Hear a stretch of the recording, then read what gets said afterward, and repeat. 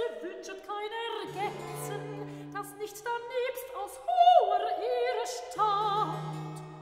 Die Vierte, wenn er sich am Feinden rächen kann, sieht dies für sein Vergnügen an.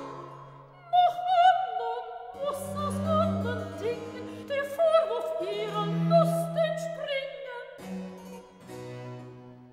Allein, wie schlecht ist diese